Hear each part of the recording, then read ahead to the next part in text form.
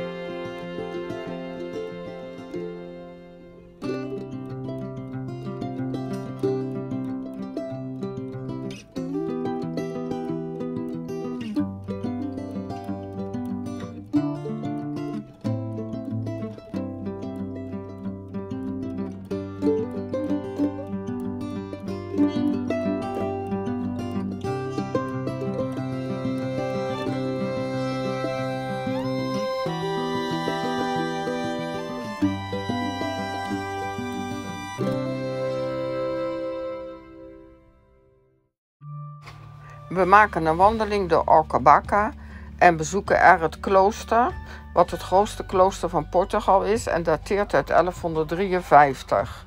Het is een machtig groot gebouw en samen met de kerk zijn het de eerste gotische gebouwen van Portugal.